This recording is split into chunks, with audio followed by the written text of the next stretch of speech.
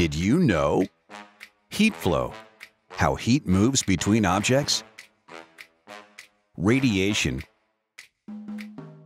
Radiation from a heat source through air and space to the surface of a substance.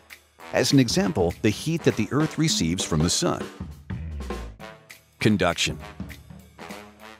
Heat transferred from one object to another through physical contact. Convection